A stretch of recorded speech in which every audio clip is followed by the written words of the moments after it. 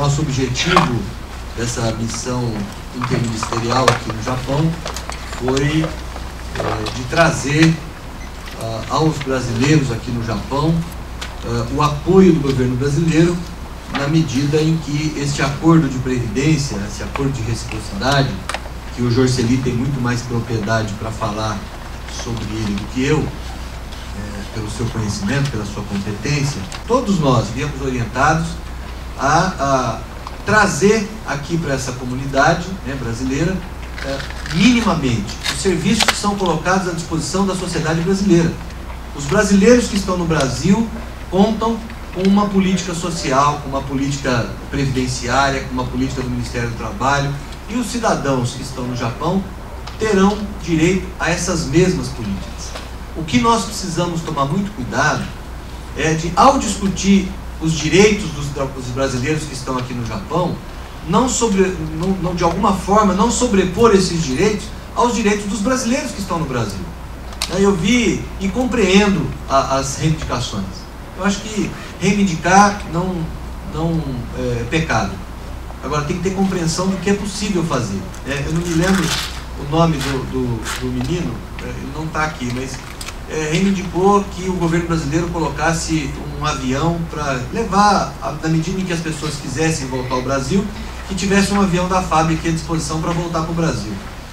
Eu compreendo a reivindicação. Agora, nós temos que pensar o seguinte, que os brasileiros que estão vivendo a enchente no Ceará, no Piauí, no Maranhão, não tem um avião para tirar eles do lugar, para ir para outro lugar.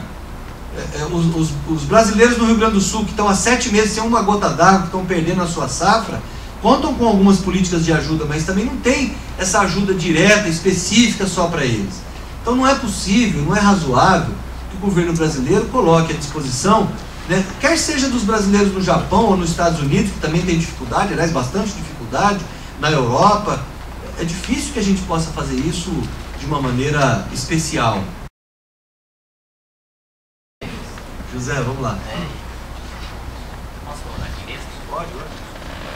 Tenho contribuição previdenciária no Brasil há 15 anos.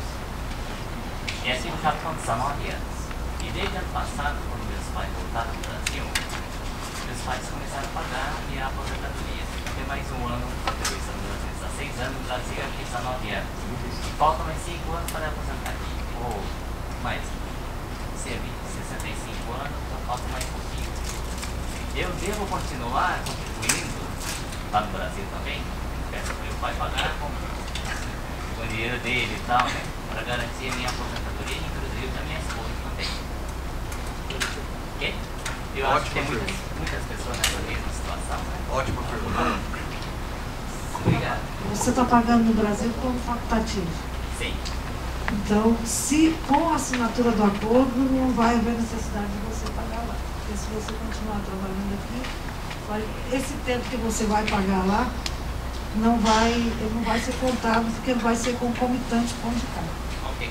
Ok? Então não tem necessidade. Com a assinatura do acordo, não. Sim, só ressalva, ressalva de que tempos concomitantes, eles não influenciam no tempo, mas podem influenciar no valor. Né? Então, não, o tempo concomitante não. O tempo concomitante não vai ser contado. O tempo anterior dele será contado com a assinatura do acordo. Agora, se ele está pagando lá como facultativo e está trabalhando aqui, esse tempo é concomitante. Não, mas no PVC não influencia um valor a mais? Não, não soma? Não, não. Então eu vou parar de pagar, viu? Mas que espera essa Espere, senhor.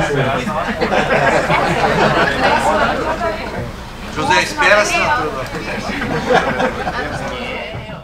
As impressões da comunidade brasileira aqui no Japão, as preocupações, levarei, né, assim como o embaixador Otto Maia também levará o seu ministro, eu levarei o relatório é, dessa visita é, ao ministro José Pimentel, que levará certamente ao presidente Lula e às autoridades do Brasil para que a gente possa continuar é, apoiando, na medida do possível, mas trazendo as políticas públicas brasileiras ah, aos cidadãos e às cidadãs que estão aqui no Japão.